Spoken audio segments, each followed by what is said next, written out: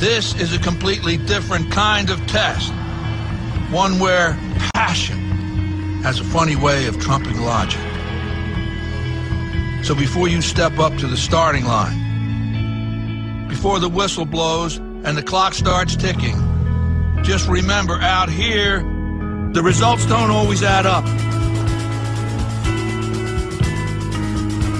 No matter what the stats may say, and the experts may think, and the commentators may have predicted, when the race is on, all bets are off.